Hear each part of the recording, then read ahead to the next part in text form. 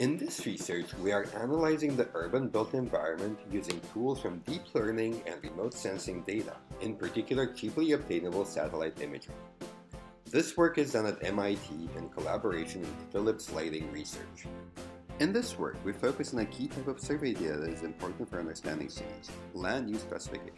This is a key input to urban planning applications such as zoning and permitting or infrastructure investments. It is traditionally done by experts using disparate data sources such as surveys and tax assessor databases, which may not be available at every city, especially in developing regions. We developed deep learning models to perform land use classification using high resolution, cheaply obtainable satellite imagery at a large scale. Using our models, we are able to analyze and compare urban environments in a more continuous spectrum of visual appearance than that provided by the discrete land use classes. For this, we built on the emergence of remote observation data on urban areas at a much higher coverage, spatial, and temporal resolutions that was available in the past. This has been driven by new space companies that have been building and launching fleets of hundreds of cheap, small satellites using, in part, commodity sensors found in smartphones. Another development that makes now a good time to tackle this problem is the emergence in the past several years of powerful deep learning algorithms for vision, and of mature open source frameworks for machine learning. For this, we compile a new dataset to study urban environments. This dataset consists of satellite imagery with their corresponding land use labels. The satellite images have been obtained from the Google Maps API. The labels have been obtained from Urban Atlas, a large-scale land use survey by the European Union of over 300 cities in Europe. To train our classifier, we use state-of-the-art convolution architectures.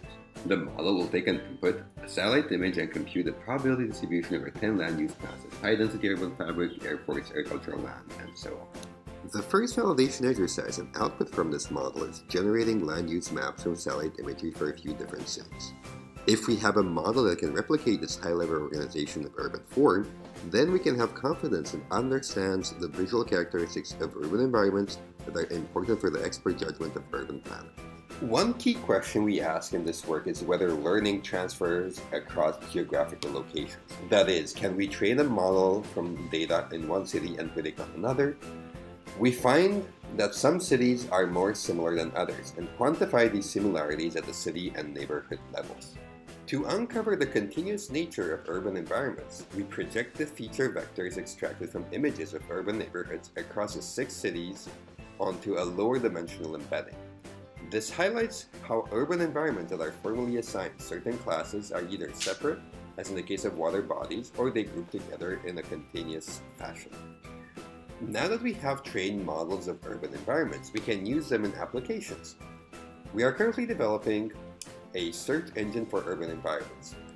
Given a query environment, our model can identify similar neighborhoods across cities that have similar characteristics. This will enable applications such as benchmarking the built environment for urban planning or building energy analysis. More information is in the paper and at our GitHub repository for the project.